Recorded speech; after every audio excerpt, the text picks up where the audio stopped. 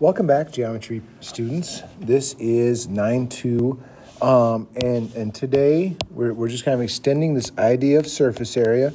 Um, but today, this one is all about cylinders. That This section's all about cylinders. We talked a fair amount in part one about prisms. Um, we're going to kind of look at cylinders. And cylinders are nothing more than a very, very specific type of prism. They just have one distinct feature, and that is that the bases will be circles. Okay, so everything and anything that you remember from circles um, will come into play here. So please be aware of as, as kind of we look. So now, a cylinder um, looks like this. Okay, so a cylinder has got two circle bases, as in both bases are circles. Okay, so radius is involved here. And then it technically has one lateral face. Okay, because this is technically one side rounded all the way around. Okay, so so this um, this would be considered a right cylinder, and this one would be considered an oblique cylinder. Okay, so straight up and down versus uh, looks like somebody pushed over. So that's kind of what a cylinder is going to look like. Okay, it's got two circle bases and one lateral. So if I look, so if I look over here on the right, this would be my net. So if I cut that apart and unfolded it, that is going to be what my cylinder looks like. Okay, so I've got the two bases, and then my lateral area, this area here, please note, it ends up being the circumference times the height. So on, and on some level, I really hope that makes sense because my distance around the circle, know, we talked about what's the distance around the circle. If I was going to walk around the circle, how far would I go? Well, that's going to be 2 pi r. So now if I cut this open, you can think about like peeling the label off a soup can, and I lay it flat, that's what this is going to look like. So my lateral area is nothing more, okay, so if I kind of compare it to, you know, I took the perimeter times the height, but the perimeter of a circle is nothing more than the circumference. Okay, so that really is just going to be 2 pi r times height. Okay, so it's very, very specific. You're talking about circles. Okay, so pi is going to be involved. So that's my lateral area just 2 pi r times whatever my height is. Okay, so obviously whatever side is not a circle, it's going to be uh, my lateral, and that's going to give me my height. So then surface area, you know, we talked about before, surface area is just lateral area times twice or plus twice the base. Well, my lateral area is just 2 pi r times h plus 2 pi r squared. Where'd I get pi r squared, you ask? Pi r squared is nothing more than the area of a circle. All right, pi r squared. So 2 pi rh plus 2 pi r squared. That is going to be my surface area. So these, put circles around, put stars around them. These are kind of the big concepts you need to be able to um, play with today. So if I take a look here,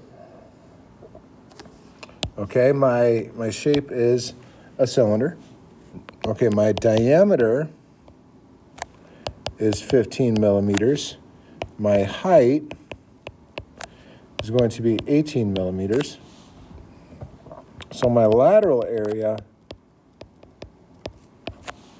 you know, that's just going to be 2 pi r times h.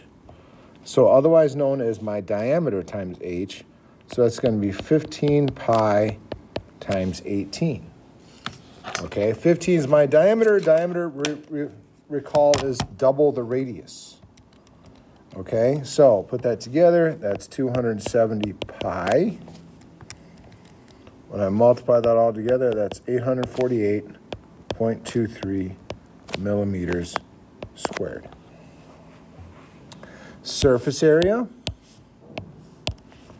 is going to be just adding twice the base. Okay, so that's my surface area. So I take two, but now for here I take pi r squared. So now here I need the radius. So it's going to be 7.5 squared.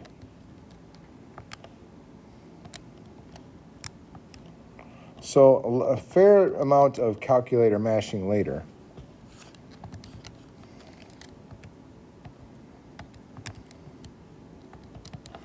And I get 353.43. And I add that to 848.23. And that's just going to be 1201.66 millimeters squared. That's my answer. So I take my lateral area plus my, my base area, and that, include, that gives me my total surface area. And that's it. That's it. So now here, I've got what appears to be somewhat of like a Pringles can, or, or if you don't like that, then something else cylindrical. So my radius is 5, my height is 9. So that's going to be, so my lateral area, remember, is 2 pi r times h. Surface area is going to be 2 pi r squared. All right, so my base area. So 2 times pi times 5 times 9. Okay, so that's just 90 pi. So that would be 282.74.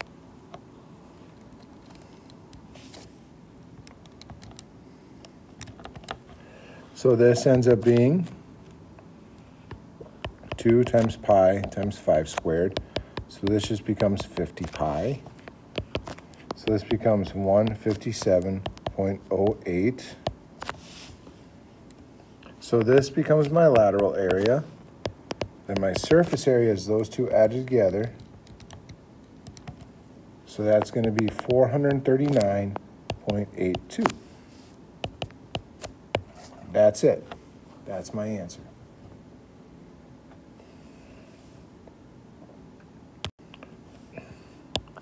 So now they don't even give us a picture anymore. We just got to kind of make do with what they give us, what they tell us.